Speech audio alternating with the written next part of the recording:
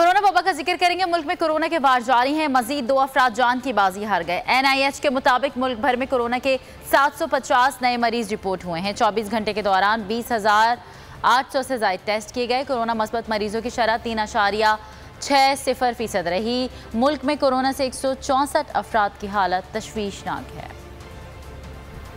Corona वबा का ज़िक्र करेंगे, मुल्क में कोरोना के वार जारी हैं। मजीद दो अफराद जान की बाजी हार गए। एनआईएच के मुताबिक मुल्क भर में कोरोना के 750 नए मरीज़ रिपोर्ट हुए हैं। 24 घंटे के दौरान बीस हज़ार आठ सौ से ज़्यादा टेस्ट किए गए। कोरोना मस्बत मरीजों की शरह तीन अशारिया छः सिफर फ़ीसद रही। मुल्क में कोरोना से एक सौ चौंसठ अफराद की हालत तशवीशनाक है।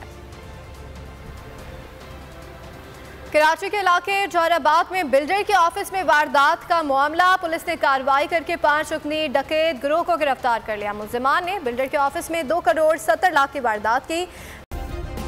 सब्सक्राइब करें और बेल दबाएँ ताकि कोई खबर रह न जाए।